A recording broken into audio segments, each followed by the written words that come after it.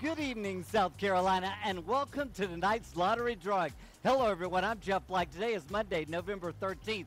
2023. Let's start with pick three. Our first number tonight is a zero. Next number two, and our last number in pick three. What do we have for you, folks?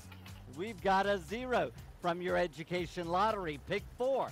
Starting off with another zero. Coming your way now, another zero. What do we have now? An eight.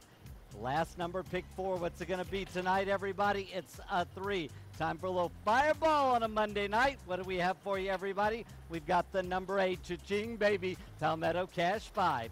Tonight's winning numbers 31. Up next is 20.